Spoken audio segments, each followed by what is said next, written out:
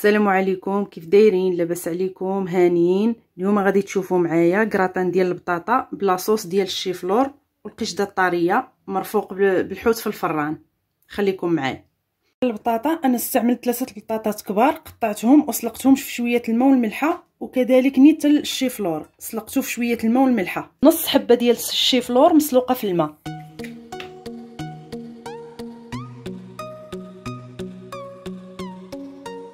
غادي نحطو البطاطا ديالنا على جنب وغادي نجيبو ال mixeur غادي نضربو فيه هاد الشيفلور مع الماء وشوية الملحه والبزار. ومن بعد ما نضربوهم يتخلطوا مزيان غنزيد عليهم القشدة ونكبهم فوق البطاطا. كما كتشوفوا معايا هاد الشيفلور غادي نكبو بالماء ديالو اللي سلقتو فيه.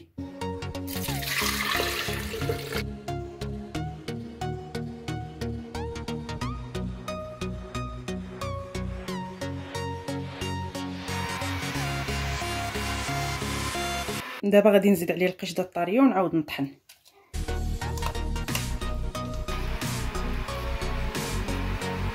بعد ما طحنت الخليط ديالي نتوما كتشوفوا كيفاش كيجي.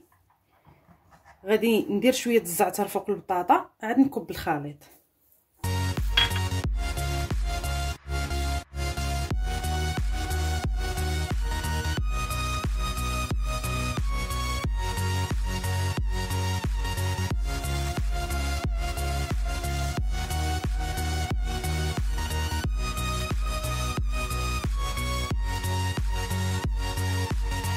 ودابا غادي ندخلوه للفرن إلا كان فرن كهربائي.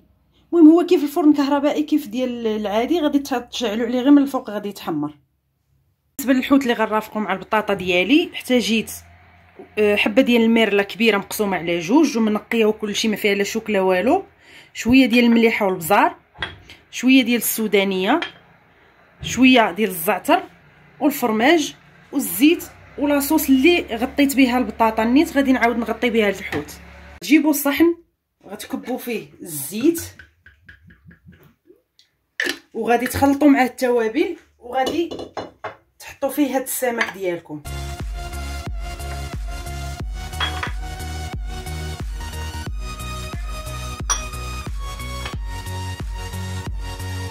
الزعتر غادي تستعملوا غير النص والنص غتخليوه حتى الآخر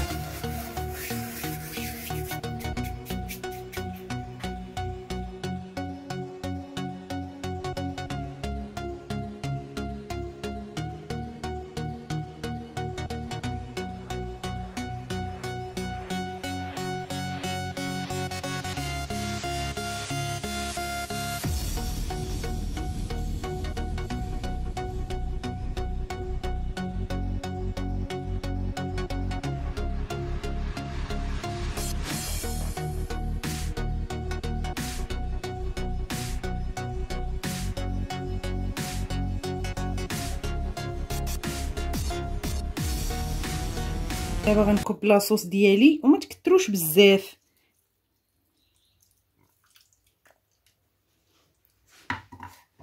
وغنزيد فوق منها قطع ديال الجبن.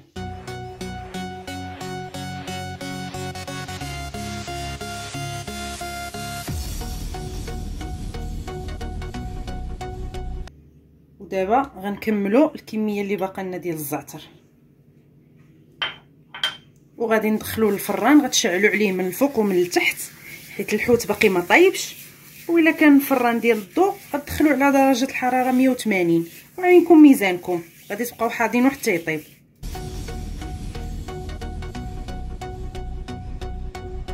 ومن بعد ما طابوا لي الأطباق ديالنا نتوما كتشوفوا الحوت كيفاش كيجي محمر بهذاك الفرماج اللي كندير فوق منه كيبقى مع شوية لاصوص يعني اللي بغى ياكل ديك لاصوص. والبطاطا ديالنا هي كيفاش كتجي أنا غادي نقدمهم معكم دابا.